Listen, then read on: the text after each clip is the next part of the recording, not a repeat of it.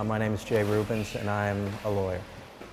My workout is um, with Indo-Row. It's a, an equivalent of kind of rowing on the water on land. So after, um, after we get through that initial warm-up and kind of trial period, we would do waves of rowing with different time frames, different intensities. I think on these machines, you can easily push yourself beyond any limit. The, the rowing is kind of a full-bodied um, routine.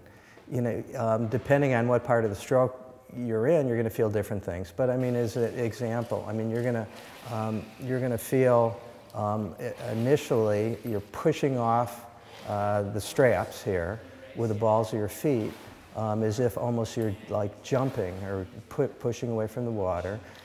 So you feel it in, first in, in your, your feet, you're, you're digging in with your heels as you progress with a stroke. You feel it in your calves as you're moving back. Your quads get involved, and then as you go beyond vertical, I mean, you're pulling with your back, your lats, and your arms.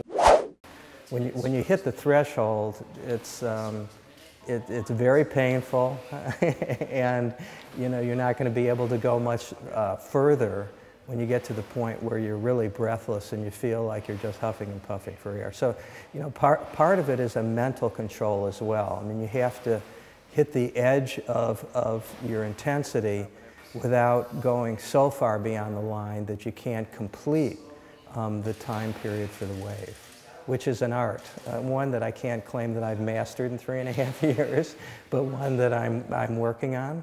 I think one of the things that it does help is it, it made, for me anyway, it, it really made me concentrate on breathing, how to breathe correctly, how to breathe deeply, how to, trade it, how to cope with uh, a lot of physical discomfort. Being a commercial real estate lawyer, I'm facing a lot of deadlines and I usually have to stay close to the phone. So this is, this is a perfect workout for me because I can, you know, with a window of opportunity, if I go six, seven o'clock in the morning or six, seven o'clock at night, you know, I can, I can quickly get into the gym.